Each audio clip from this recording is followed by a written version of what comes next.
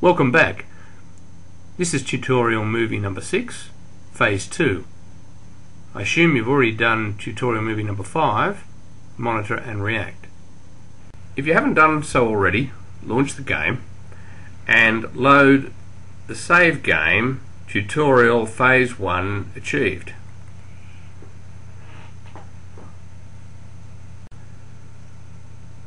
We ended the last movie with the securing of the Steinbruch objective.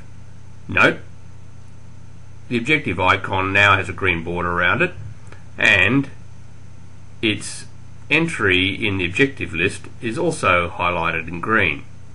The objective receives achievement points for both occupation and completion. From now on, we will start receiving points for occupying that objective, provided we have someone there. The little achievement box next to the objective will start to fill up over time as points are accumulated.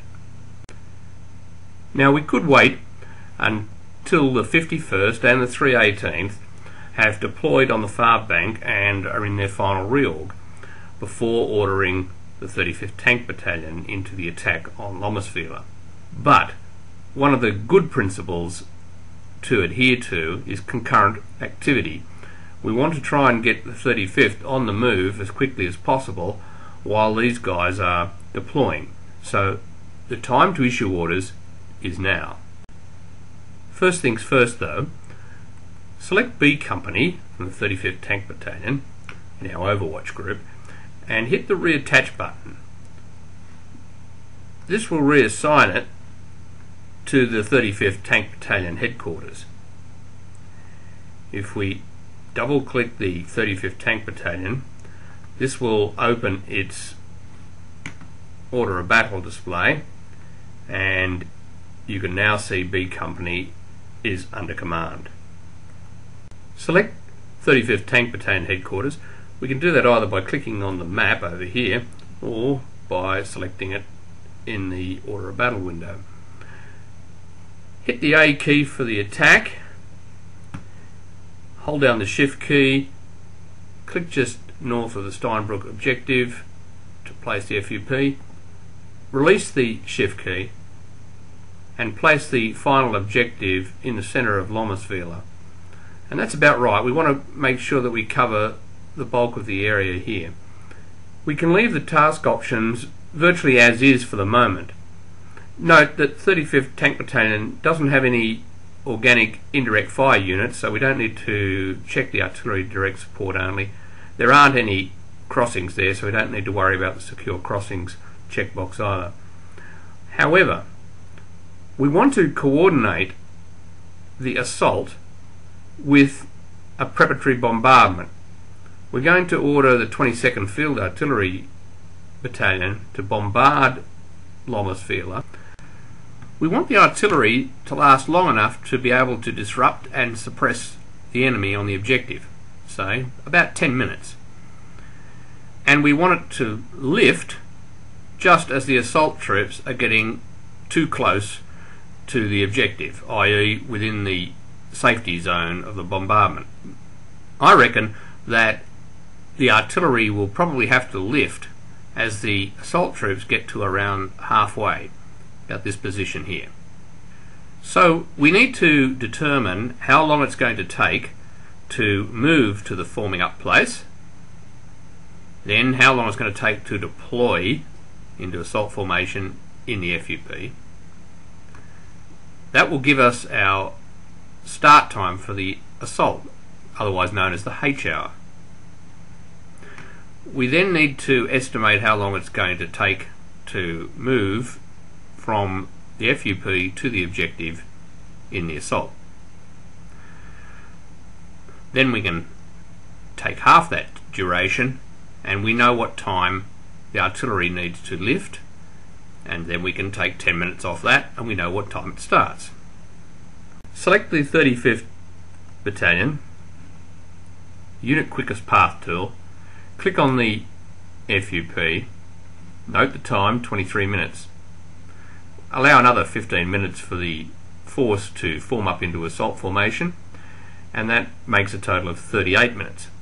However, there is a risk that the force could be uh, interdicted on its way, either from direct fire from these units here or from indirect fire, enemy mortars and artillery hitting it as it moves.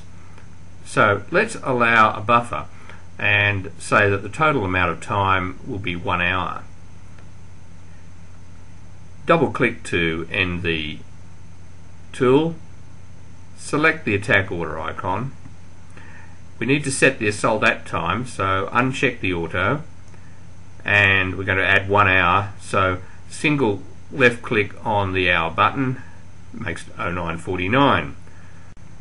Select the uh, quickest motorized path tool, click on the FUP, click on the objective, and note the duration is estimated to be 9 minutes. So say around 10, half of that would be 5. So now we know that our artillery needs to lift or end 5 minutes after the start of the assault. So in other words, at 0954 and we take 10 minutes from that and we know that it starts at oh 0944. Double click to end the tool.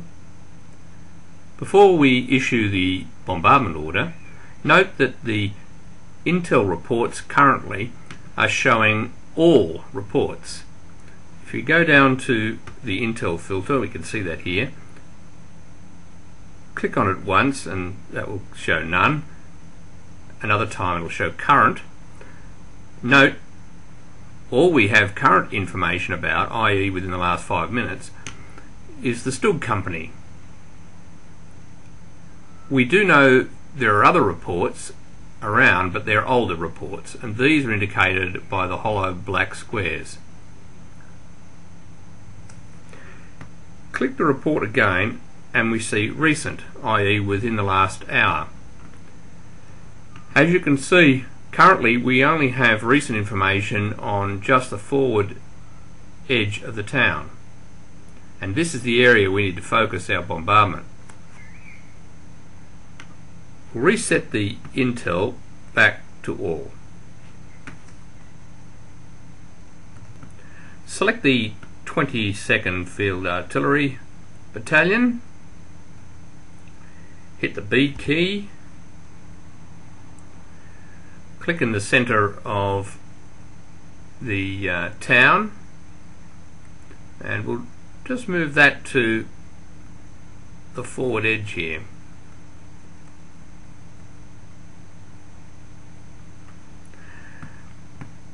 Set its start to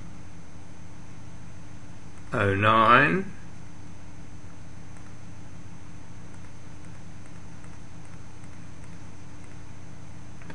and hold the control key down and left click to increment by one. Now we have 0944, it's going to end at 0954 and we're right to go. So congratulations, now you've coordinated your first attack. You don't need to coordinate attacks, but they do provide effective means by which you can maximize the firepower and the arrival of forces on the objective. I'd just like to mention about reserves. At the moment, we've committed our reserve battalion, the 35th Tank. All our other forces are committed to some particular task. So we don't technically have a reserve. However, the 51st and the 1st 318th will shortly consolidate the objective do their final reorg, and then be available for retasking. We'll probably leave the 318th to defend the crossing. There are still enemy units in the vicinity which may try and sneak back in, and we'll need to defend it as we need to secure this for passage for our reserves and also because it's a victory objective. But that will leave us the 51st available to act as a reserve. You should also consider what's going to happen next once you've taken Lommersweiler. If you check your objectives, we will achieve Lommersweiler ahead of schedule before its its uh, due, due time. The next objective is Breitfeld Crossroads. If we double click that, it will take us to it. We'll just zoom out and get a bit of context here. As you can see, it's some three kilometres further north. It's not due to be activated until 0300 on day two, i.e., uh, over half a day away. But that doesn't stop you from trying to achieve it beforehand. Doing so would also cut off the likely enemy withdrawal from Lommersweiler. So it would serve both purposes. One, to stem what is likely to be a flood of enemy units fleeing northwards to escape the onslaught from the 35th Tank. And at the same time, it would set you up nicely to secure this objective ahead of schedule and provide a springboard for the final offensive onto St. Vith. Also, remember from our briefing that there was a report of an enemy armoured column approaching from the west. Securing Breitfeld denies them the most likely approach down towards Steinbruck. However, there is another approach, and that is at the crossing here at Nidengen. So, that is possibly another task for you to consider.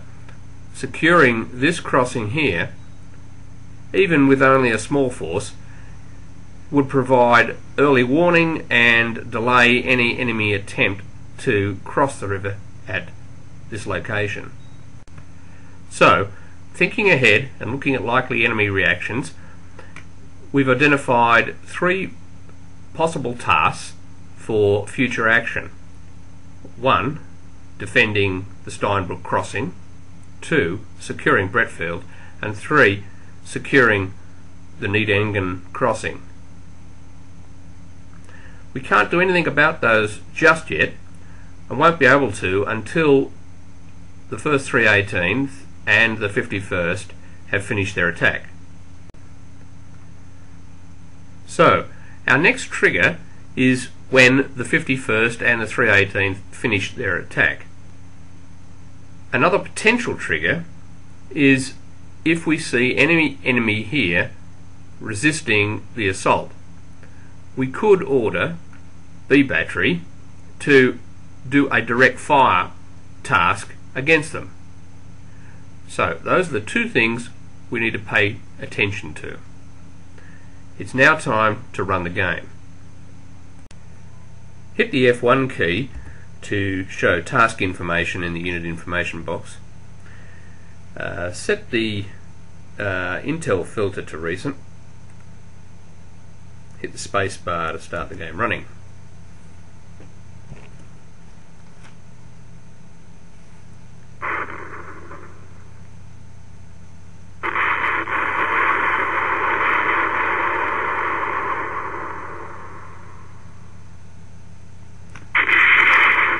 Note that the 51st headquarters is moving up into the reorg position as the rest of the units reorg at the objective.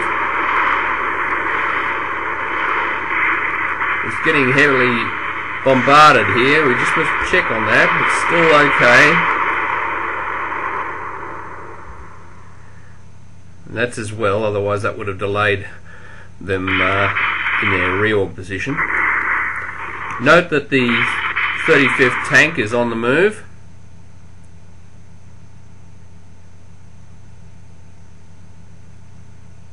The 318th is now reorging.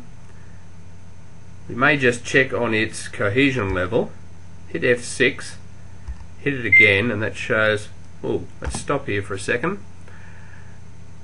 Now, We've just received a message saying that the 35th Tank Battalion headquarters has slipped its attack task by 24 minutes.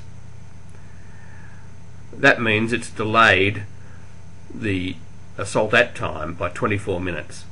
obviously because it's not progressing as well as it had originally planned. Now, we have a coordinated task here, so you need to change the time for the start of your bombardment by 24 minutes so that it stays in coordination. And this has to be done manually. So we just hit the uh, Q key to bring up the fire support tab, it's a shortcut. Select the 20 second and we'll just select its order icon and we can see that its start is scheduled for 0944 so we need to increase it by 24 minutes so that's uh, 5 minute increments. We just select the button five times one two three four five and we'll roll back one by hitting the control key and right arrow right mouse. And we have it set for 1008 now just to confirm we'll select the 35th tank and select its order icon and we have it assaulting at 1013 so five minutes before that should be 1008 and I believe that is what we have indeed set it to. Yes. So we're now back in coordination and everything's synced. So let's proceed on. We'll just hit the F1 key again uh, to show that all the tasks are fine. F6 again to go back to cohesion.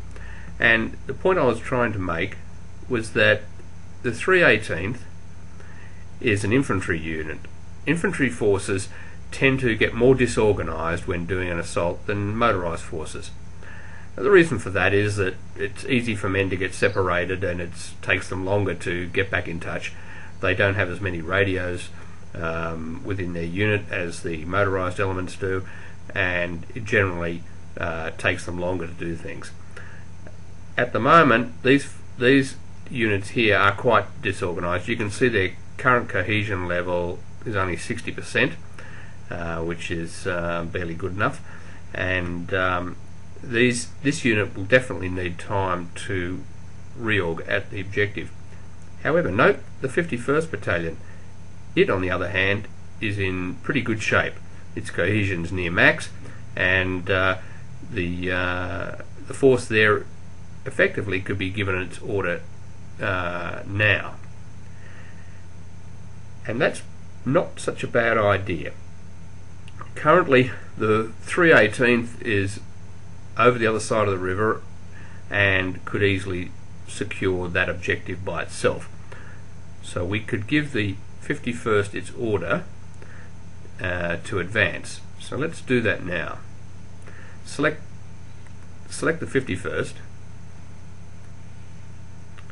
hit the M key for move so holding the shift key down click on the track junction here and release the shift key. Click on the edge of Breitfeld and we've placed our move task. We'll leave the task options as is. We could consider allowing attacks. Normally, a force, as it moves, is not allowed to initiate its own attacks. It's up for you then to issue those orders directly yourself. However, when you check the allow attacks option, the force itself can initiate an attack if it encounters enemy on its way. Now this is quite handy if you don't want to necessarily focus on that particular force but still give it the option to be aggressive and launch its attacks. We won't do that just yet because it may end up, in fact, launching an attack onto Lommersweiler and we've got one already planned. So we'll leave that for now, but we'll monitor its progress and by the time it gets up to around the first waypoint, or if it encounters enemy beforehand, we can set that flag to true and then it will conduct its own attacks. Hit the spacebar to start the game running We'll just change the unit information to show tasks.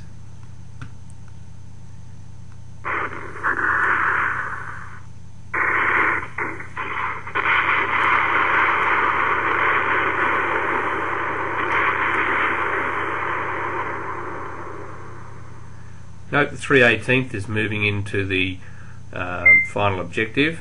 Ooh. And we've just received a notice here that the 35th Tank Battalion has slipped its attack task again by 26 minutes. As you can see, the 35th has still some way to go. Um, it's being held up in here by enemy mortar fire uh, impacting on the zone here. So, we will just confirm that the new assault time is at 10.39 so we want our bombardment to be at 10.34 we'll just repeat what we did last time. Let's hit the Q key for the bring up the fire support tab. Um, we'll select the uh, bombardment task and we want to set its time for another 26 minutes. So one two three four five uh, plus one okay so there we we're right to go let's start the game running again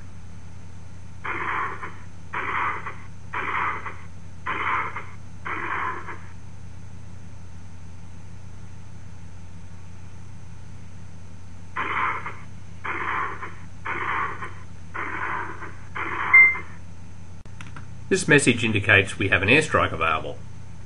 Airstrikes represent flights of fighter bombers that are available for you to commit to attack enemy ground units. When they're available, you'll see the airstrike button activated on the Orders tab, along with the number of airstrikes available to you at that time. Airstrikes, or the aircraft for them, will stay in the area for approximately half an hour, in which time you must commit them. If you don't commit them, then they will be reassigned to your staff to be committed, but the staff will only have a further five minutes to do so. After that, they're lost. To commit the aircraft, hit the airstrike button and select the target. Now, in selecting our target, we want to give priority to the area being attacked and to the biggest enemy threat. So we'll hit the F4 button to show combat power again and this looks like the, the best target. These ones here we haven't seen for a while so most likely the enemy have pulled back into the town. They may be in the town. We could in fact hit the town and take pot luck. However, the old adage, never back a probability against a certainty. We have an enemy unit here that we know of, and we should target it at the moment. Now, we'll hit the F5 button, and this will show its deployment. So this unit is actually moving, and we'll hit it again, the F5, and we'll show it's facing a direction. So it's moving towards this. So let's target the bottom uh, right corner there. So if the unit's moving in that direction we'll get him uh, within our bombardment zone, which is around about 250 metres for a fighter bomber strike. Alright, let's hit the game running again. We'll just return it.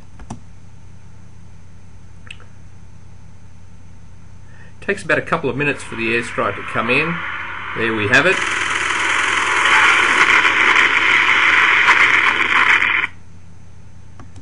just going to pause for a second and um, we'll have a look at uh, the enemy's strength here. It's uh, certainly um, uh, not at full strength. When an aircraft is committed for the strike, any available and eligible enemy flak units can return fire and try and either force the aircraft to abort or to miss their target.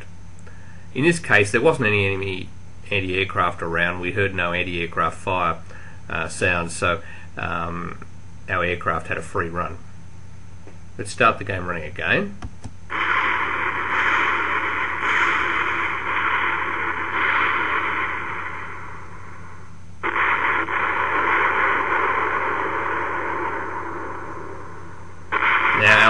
Bombardment has started and we can see our salt as well. Our bombardment has just lifted Our assault's about halfway, which is where we had anticipated it being. And we can see we've encountered some enemy and are now engaging them.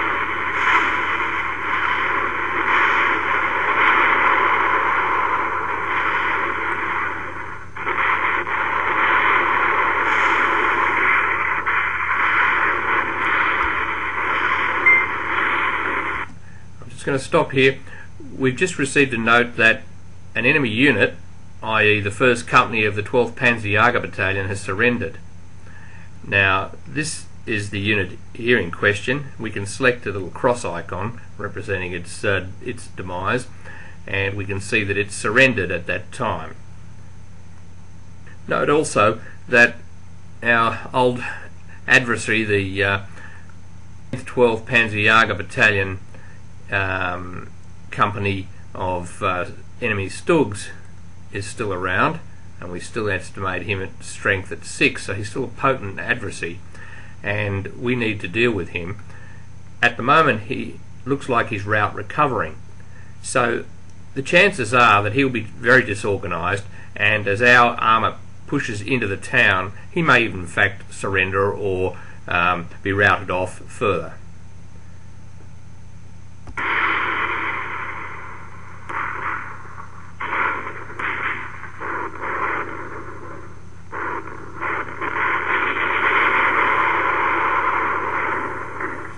I'll just stop again.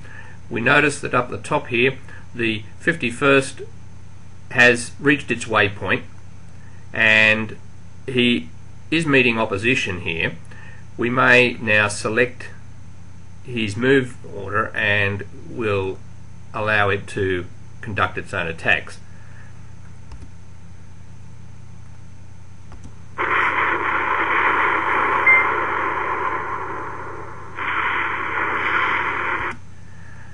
note before I, I mentioned about the um, Stug company and it does look like in fact that it has been destroyed here. Uh, so that's well done. Uh, that is probably uh, the toughest nut to crack and we've done so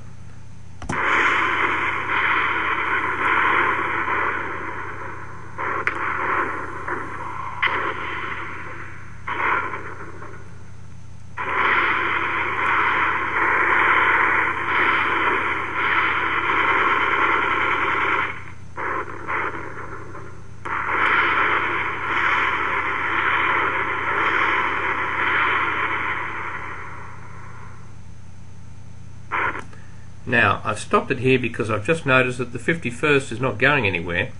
And we in fact have C Company which is defending here. And I'm trying to work out well why is this occurring. Hitting the down arrow takes me to its first subordinate. And lo and behold this is A Company, 51st Infantry and note here that it's going to do a probe. A probe is an attack, but one in which the force being committed will break off the attack if it looks like there's too much opposition. It's useful to probe when you don't know exactly what you're encountering. When you allow the 51st Battalion to conduct its own attacks, it doesn't always mean that this will be with the whole force. In this case, it's determined that it's best done with a single company. A single company can mount an attack or a probe in a quicker time than the whole force. And if you're uncertain as to what it is, and it may only be a single unit, then a probe by one of your companies is probably a good option. Okay, so everything looks like it's on track. Let's start the game running again.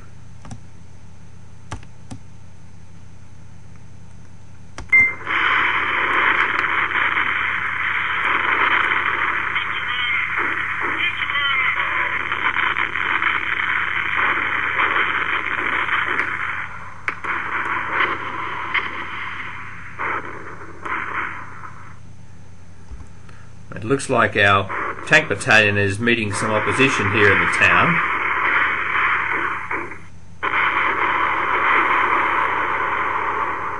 It might be time to lend some artillery support.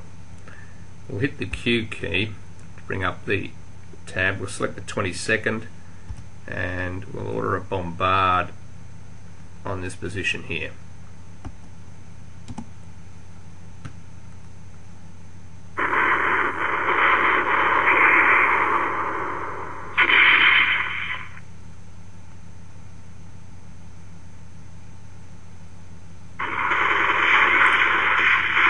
Notice our A company is conducting its attack.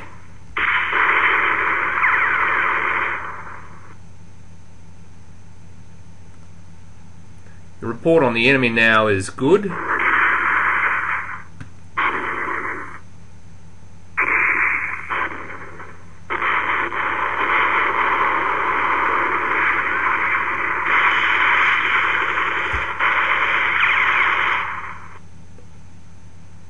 It looks like our attack in the town has uh, overcome most opposition, although a company here has been routed.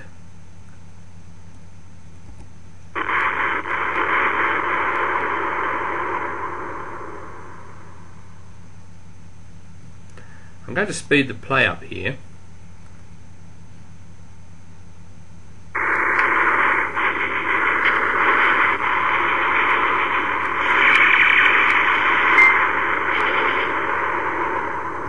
We have another airstrike. Let's choose a, a, nice target for it. We'll hit the F4 key again.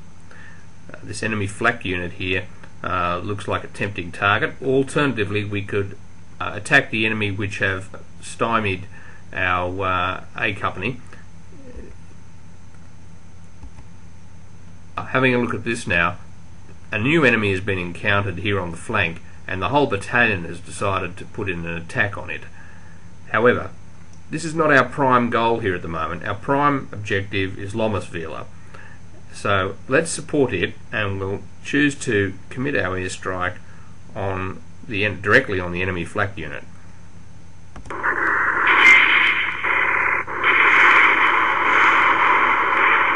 And it's had an immediate effect, routing the enemy flak unit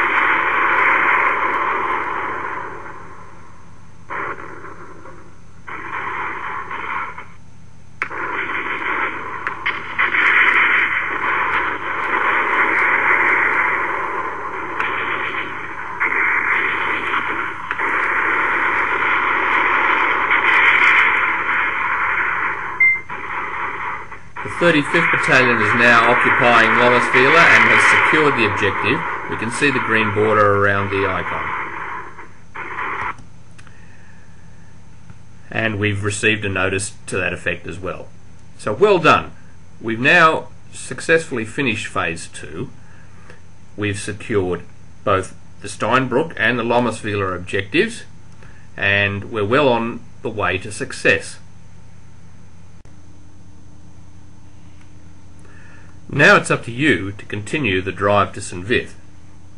Remember, you have plenty of reserves coming along. Also remember, the enemy has an armoured column approaching from the west, so protect your flanks.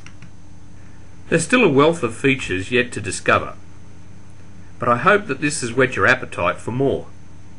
And remember, the reference manual is there to assist and provide you with the information you need on any particular feature.